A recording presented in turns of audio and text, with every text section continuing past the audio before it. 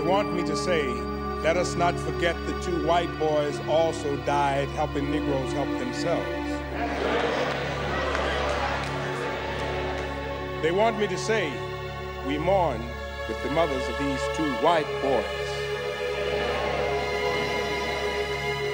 But the state of Mississippi won't even allow these white boys to be buried in the same cemetery as this Negro boy. Say I have no more love to give. I have only anger in my heart today, and I want you to be angry with me. Now, I am sick and I am tired, and I want you to be sick and tired with me. I, I, I am sick and tired of going to the funerals of black men who have been murdered by white men. I, I am sick and tired of the people of this country who continue to allow these things to happen. What is an unalienable right if you are a Negro? What does it mean equal treatment under the law?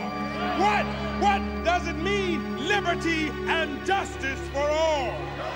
Now I say to these people, look at the face of this young man and you will see the face of a black man. But if you look at the bloodshed, it is red. It is like yours. It is just like yours.